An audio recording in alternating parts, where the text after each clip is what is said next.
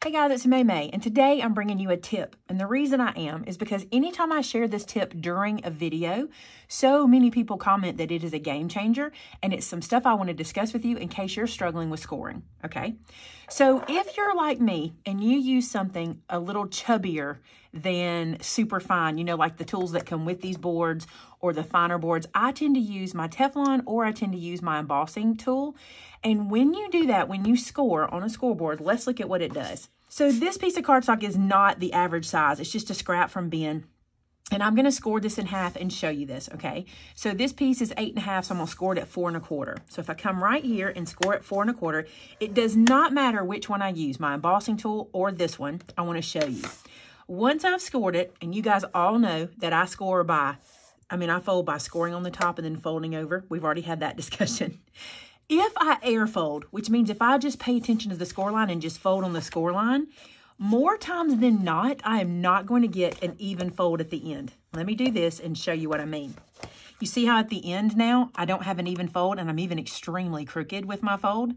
That's that whole air score thing. The first thing you want to do is not score in the air. Let me get another scrap and show you what I mean. So let's do the score again. So this is four and a quarter, so I need to do two and an eighth to do it in half, okay? Now, because I used the wider piece, my score mark is very wide, okay? Which means when I go to fold it, it can land anywhere in that score mark. It can land on this side of it, or it can land on this side of it. And more than likely, I'm gonna have the width of my score mark down here at the end. It's not the end of the world. You can just trim that off. But let me show you how I get rid of that.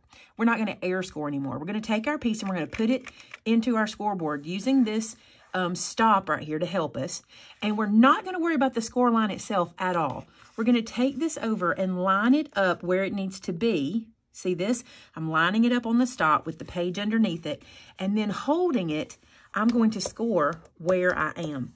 Now, here's what just happened. I basically told this piece of cardstock, I want you to fold in the middle of that wide score line. Therefore, I get a clean, straight score here.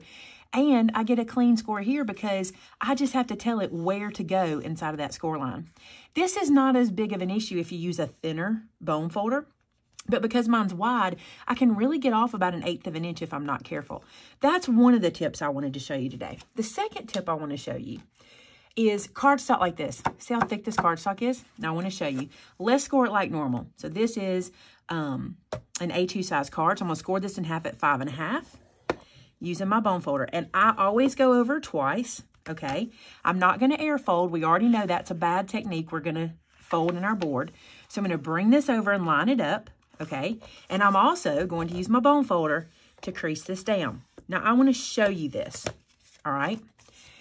This is a decent fold. Do you see that? It's a decent fold. It's not bad. There's a little bit of wiggling right here, and sometimes it will crack with these thicker papers when we score. So here's what you do to make sure you avoid that. And this works with any cardstock. This is the same cardstock I just showed you, okay?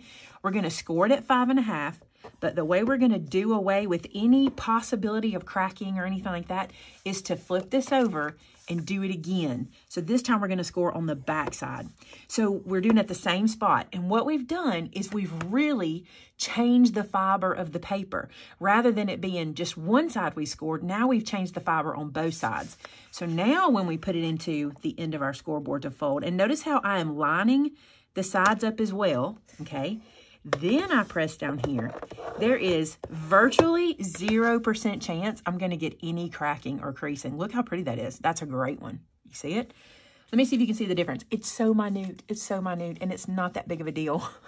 but you can see here there's a little bit of funniness there where it doesn't exist on this one because we did the double score. Also, look how clean that lays down and this one kind of pops. Isn't that nice? So Many of you have probably seen that tip. That is probably not new to you because you watch my videos. But a lot of you guys don't watch every video. And sometimes these tips happen in the video. And this is one that every time I talk about it, people really comment below, oh, wow, I never thought of that. Oh, wow, that really helps me. Now, if you'd like to see why I score my paper this way versus the under way, because some people, you know, crease on the top and fold under. I crease on the top and fold back. If you want to see that, we have a video about that one already, and I'll link that for you in the description so you can check that one out too. So I hope that helps you in your scoring. And, and for card makers, it can kind of be a deal breaker for us. We don't really like all the wrinkly edges, and it's especially true if you have a white core cardstock where it's colored on the top, but it's a different color in the middle. And when you're scoring, you get those creases and cracks, you can really see it. That double scoring is a good way to get rid of that. All right, guys, I hope that helps you. A little tip for this week. Every now and then we need to just, just have a little tip thrown in there. So tell me in the comments below if that's how you score, or maybe you have a score tip. Put it in the description. Let us know, in the comments below. Maybe you have a great score tip I need to learn myself.